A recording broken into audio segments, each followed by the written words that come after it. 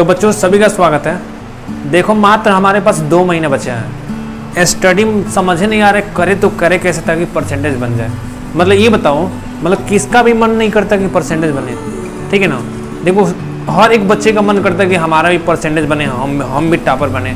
लेकिन मतलब गलती कुछ कर देते हो जिसकी वजह से आप टॉपर नहीं बन पाते हैं। मतलब कितने लड़के ऐसे होते हैं जिनके पास टैलेंट होता है, लेकिन फिर भी वो टॉप नहीं कर पाते हैं। ठीक है? कितने लड़के ऐसे होते हैं जो अवरेज होते हैं फिर भी उनका परसेंट ज़्यादा आ जाता है। तो आपको क्या करना है? बिल्कुल स्ट्रेटजी के साथ पढ़ाई करना है, ताकि टॉपर बन जाए। अरे, आज मैं बताऊँगा मतलब कि कम पढ़कर भी कितना बढ़िया से बढ़िया नंबर कैसे लाया जा सकता है। ठीक है? मतलब इक्कीस दिन का स्टडी प्लान क्या है? यह मतलब क्या करना है? आपको बढ़िया समझना है। अगर बढ़िया से नहीं समझे ना तो मतलब कि आप पीछे हो जाओगे। मतलब अधिकांश लड़के इस नियम का पालन करते हैं। तो दो तीन महीना समय है। इक्कीस दिन का स्टडी प्लान क्या है? बहुत बढ़िया समय आज समझाने की आपको कोशिश करूँगा।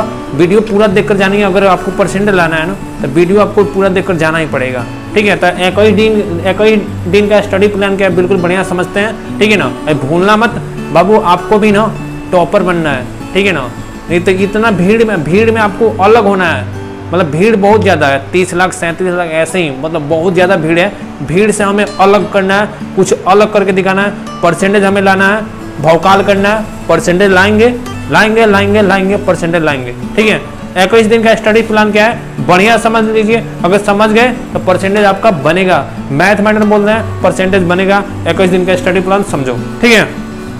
तो देखिए बाबू यहाँ पे। इक्कीस दिन का स्टडी प्लान क्या है? जैसे ये बताओ कितने लोग ऐसे शराबी को देखे हो शराबी बाबू क्या करता है? शराब का एडिक्शन लग गया उसको।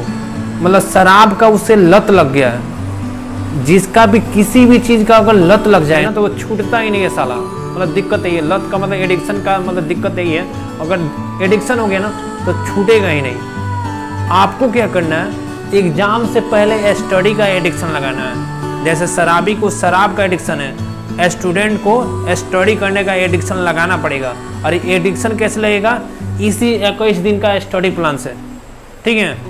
तो इक्कीस दिन का जो हम, हमारा स्टडी प्लान है, उसी का हम क्या करेंगे? एडिक्शन लगाएँगे। स्टडी करने का एडिक्शन मतलब पढ़ने का लत।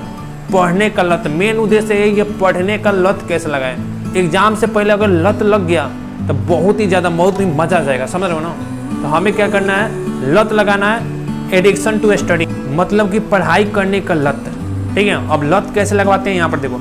अगर मान लो कोई भी शराबी है तो पहले बाबू एक बार शराब पिएगा, तभी उसको लत लगेगा।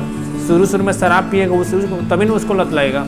हमें क्या करना है? अगर हमें मान लो कि एडिक्शन करना है स्टडी का तो शुरू शुरू में क्या करना है? शुरू में, शुरू शुरू में थोड़ा थोड़ा पढ़ना है। इक्कीस दिन में कैसे पढ़ना है? यहाँ पर देख लीजिए, ठीक है ना? देखो।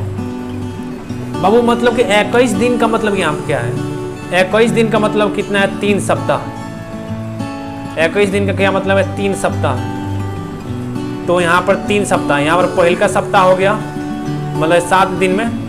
यहाँ पर दूसरा सप्ताह हो गया, यहाँ पर तीसरा सप्ताह हो गया। ठीक है? इक्कीस दिन या पढ़ के ऐसे देख लेना, ज़िंदगी बदल जाएगी, यकीन मानो मेरा। ठीक है ना? पढ़ने का एडिक्शन लग जाएगा। लग गया ना तो परसेंटेज बनेगा। अगर परसेंटेज बनेगा ना तो भौकाल होगा। ठीक है बाबू? तो समझिए ना। तो हमें क्या करना है? पढ़ाई करने का लत लगाना। तो इक्कीस दिन का यहाँ पर है स्टडी प्लान पहल का सप्ताह, दूसर का सप्ताह, तीसर का सप्ताह। पहल का सप्ताह, दूसर का सप्ताह या तीसर का सप्ताह। ठीक है? तो पहल का सप्ताह में आपको कैसे पढ़ना है? बढ़िया समझ लीजिए। पहल का सप्ताह मतलब सात दिन होता है। बोलोगे, सर जी, पहल का इसमें भी सात दिन, इसमें भी सात दिन और इसमें भी सात दिन। ठीक है? मतलब सात दिन होता है। ठीक है ना? इसमें पहले के सप्ताह में सात दिन दूसरा का सप्ताह में सात दिन, तीसरा का सप्ताह में सात दिन। सात दिन में से यहाँ पर क्या करो छः और एक में बांट लो। छः दिन यह हो गया, एक दिन यह हो गया। फिर से यह क्या करो छः और एक दिन में बांट लो। छः दिन आपका यह हो गया और एक दिन यहाँ पर यह हो गया। फिर सात को क्या करो, इस इस बार क्या करो, फिर से छः और एक में बांट लो। ठीक है? छः दिन हो गया और एक दिन हो गया। ठीक है बाबू? अब देखो, अब मतलब यहाँ से समझो। तो पहलका सप्ताह में सात दिन सात दिन में छः दिन तो छः दिन क्या करना है आपको पढ़ाई करना है? छः दिन आपको क्या करना है? पढ़ाई करना है। लेकिन लगातार पढ़ाई करना है। छः दिन लगातार आपको पढ़ाई करना पड़ेगा। ठीक है ना? कैसे करना पड़ेगा समझ लीजिए, तभी इक्कीस दिन का जो स्टडी प्लान है, तभी समझ आएगा, तभी लत लगेगा, तभी परसेंटेज बनेगा। ऐसे ही परसेंटेज नहीं बन जाता है। समझ रहे हो ना? कुछ करना पड़ता है। बढ़िया से देखो यहाँ पर वीडियो अगर यहाँ तक देख रहे हो तो देखो यहाँ पर, समझने की कोशिश करो। मैथ माइंड में बोलते हैं परसेंटेज आएगा तो आएगा इतना जानो। ठीक है? देखिए। तो बाबू छः दिन हो गया आपका। अब छः दिन में कैसे छः दिन में कैसे स्टडी करेंगे? तो छः दिन पहल का मतलब एक और घंटा। बोल रहे सर जी कि कहाँ बोल रहे हैं फालतू का एक और घंटा? एक और घंटा पढ़, यहाँ पर पढ़ के टॉप करना पड़ता है। टॉप कर, किया जाता है। बाबू, हम जानते हैं कोई एक और घंटा पढ़ोगे ना टॉप नहीं कर पाओगे। लेकिन एडिक्शन लगाने के लिए ज़रूरी है, क्योंकि आपको पढ़ने का, बैठने का आदत नहीं हुआ। तो शुरू शुरू में एक हफ़्ता बैठने का आदत आपको डालना पड़ेगा। तो बैठने का आदत के लिए यह है, पहल का सप्ताह। ठीक है ना? तो पहल का सप्ताह आपको क्या है बैठने का केवल आदत दिखाना है बैठने का। यहाँ पर देखो तो एक घंटा कितना जी? एक घंटा। कितना हो गया? एक घंटा हो गया।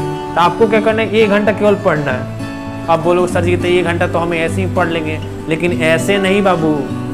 बिल्कुल फिक्स समय पे। अगर तुम सोचे हो कि 9 बजे पढ़ना है 9 से 10 तो डेली 9 से 10 ये नहीं कि आज 9 से 10 पढ़ लिए, कल 7 से 8 पढ़ लिए, उसके बाद 6 से 5 ऐसे नहीं होता है। इक्कीस दिन के स्टडी प्लान में ये सब नहीं है। समझ रहे हो ना? तो मतलब कि बिल्कुल समय फिक्स होना चाहिए। अगर 9 से 10 किए हो तो 9 से 10 बाबू। अगर 9 से 10 तो 9 से 10 सात से आठ तो सात से आठ। ठीक है ना? तो ऐसे। तो अगर मान लो कि हम क्या किए यहाँ से? पहल का मतलब कि अगर सात बजे से रात में, सात बजे से आठ, सात बजे से आठ बजे तक रात में। अगर एक घंटा पढ़ रहे हैं तो पढ़ो डेली छः दिन पढ़ो। अगर पढ़ रहे हो ना डेली छः दिन तो डेली छः दिन पढ़ना आपको एक दिन भी, एक भी दिन नहीं छोड़ना है। समझ रहे हो ना? अगर छः दिन पढ़ रहे हो तो बिल्कुल छः दिन पढ़ो। ठीक है? अगर छः दिन पढ़ रहे हो तो बिल्कुल छः दिन पढ़ो। समझे कि नहीं समझे? बोलो। समझे ना? समझते रहो। ठीक है ना? समझते रहो यहाँ पे। तो सात से आठ हो गया कितना बाबू? सात से आठ हो गया। तो ये आपका कितना हो गया? साठ से आठ। तो छः दिन का करो, तुम भी ऐसे ही घंटा एक घंटा रात में, ठीक है ना? नहीं, अगर सुबह में पढ़ते हो, सुबह में तो कैसे भी करके एक घंटा निकालो। बिल्कुल मतलब यही यही फिक्स समय होना चाहिए। आज भी, कल भी छः दिन लगातार, सात से आठ, सात से आठ, सात से आठ, सात से आठ, ऐसे मतलब छः दिन लगातार पढ़िए, ठीक है? छः दिन पढ़ लिए। अगला दिन क्या करो बाबू? बिल्कुल रेस्ट करो। सप्ताह में छः दिन पढ़ लिए, एक दिन क्या करना है, मौज करना है, पबजी खेलना है तो पबजी खेलो, जो भी करना है, वो करो एक दिन आराम से, बढ़िया से। एक दिन पढ़ाई मत करो। दूसरा का सप्ताह। दूसरा का सप्ताह बाबू, डोज बढ़ाना है। क्या करना है? डोज बढ़ाना है। और डोज लेकर जाना है कितना? एक घंटा और बढ़ा देना है। दूसरा का सप्ताह में आपको बाबू दो दो घंटा पढ़ना है। कितना पढ़ना है दूसरा का सप्ताह से? दो दो घंटा। तो दो दो घंटा कैसे पढ़ना है? सेम। अब दो घंटा का तुम समय बनाओगे, लगातार अब दो घंटा पढ़ना है छः दिन। कितना घंटा? दो घंटा। तो छः दिन दो घंटा पढ़ोगे और एक दिन क्या करोगे? रेस्ट करोगे। एक दिन क्या करोगे? रेस्ट सुनना ध्यान से। एक दिन भी ऑब्सेंट मत करना। ठान लिया उन्हें तो ठान के रखो ना। परसेंटेज तुम्हारा बनेगा। एक दिन भी ऑब्सेंट ना करना। अगर कर दिया ना तो डूब जाओगे। कुछ भी नहीं होगा तुम्हारा। मैथ माइंडर का बात मानो, जो बोल रहे हैं वो करो परसेंटेज तुम्हारा बनेगा। बार बार बोल रहे हो परसेंटेज लाना है तो यही तरीका है। इक्कीस दिन का आदत लगाओ, उसके बाद से पढ़ाई करोगे, तुम करने का मन नहीं करोगे ना, फिर भी तुम्हारा मन करेगा पढ़ाई करने का। या मैं बोल रहा हूँ, जैसे बोल रहा हूँ, वैसे देखो। अब तीसरा का सप्ताह में बाबू, एक घंटा पढ़ा देना, आपका तीन तीन घंटा पढ़ना है छः दिन। ठीक है ना? फिर से एक घंटा रेस्ट ठीक है? तो कहने का मतलब यही है कि इक्कीस दिन में आपको तीन घंटा तो आराम करना है तो अट्ठारह दिन। मात्र अट्ठारह दिन पढ़ना है। लेकिन बिल्कुल लगातार अगर सोच लियो, सात से आठ तो सात से आठ। डेली की डेली। कोनो बहाना नहीं, कोनो बहाना नहीं चलेगा। ठीक है, अगर कोनो बहाना कर दिए ना, तब देख लो अब तुम्हारा क्या हो जाएगा। कोनो बहाना नहीं चलेगा, इतना समझो। पूरा कुछ तैयार रखो। समझ रहे हो ना? तो इक्कीस दिन ऐसे ही आपको करना है तो उसके बाद से आपको ऐसे ही लत लग जाएगा। ठीक है? परसेंटेज बनेगा। अरे यहाँ पर जो भी पढ़ना है एग्ज़ाम ओरिएंटेड पढ़ना, फालतू का कुछ मत पढ़ना। ठीक है? एग्ज़ाम ओरिएंटेड और कैसे पढ़ना, पढ़ा जाता है? जाकर वीडियो और भी पढ़ा हुआ जाकर देख लो। ठीक है? दो हज़ार चौबीस में जो बोर्ड एग्ज़ाम होने वाला, यहाँ पर माथे पर लिख लो, चाहे कहीं भी लिख लो, ठीक है ना? आपको बाबू नब्बे से ऊपर लाना ही लाना है। ठीक